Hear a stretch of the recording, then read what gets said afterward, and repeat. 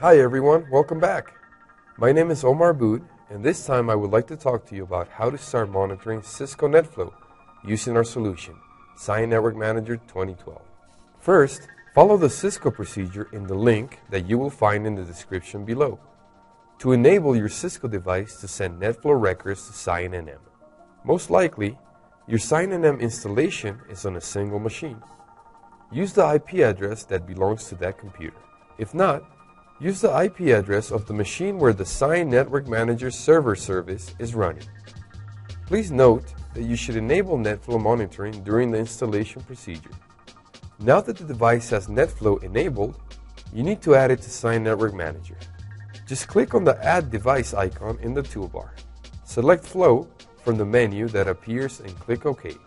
Then, the Rule Wizard window appears. In the Parameters tab, click on the Add button and enter the required device parameters. Make sure to provide the correct IP address and port of the device. A mistake might cause the NetFlow records to not be received and processed. Now the device is added and a policy template has been automatically applied to it. At this point, you're already monitoring all the default traffic flows.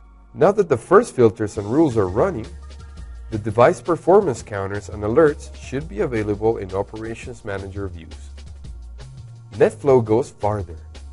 So if you want to know how to monitor specific traffic flows that are not delivered out of the box by XianNM, you can create your own filters and create rules running against them.